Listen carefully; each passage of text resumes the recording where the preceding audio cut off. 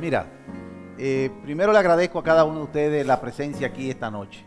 Para nosotros, un gran compromiso cada vez más. Hemos tenido diferentes ambientes de interacción, específicamente con los jóvenes.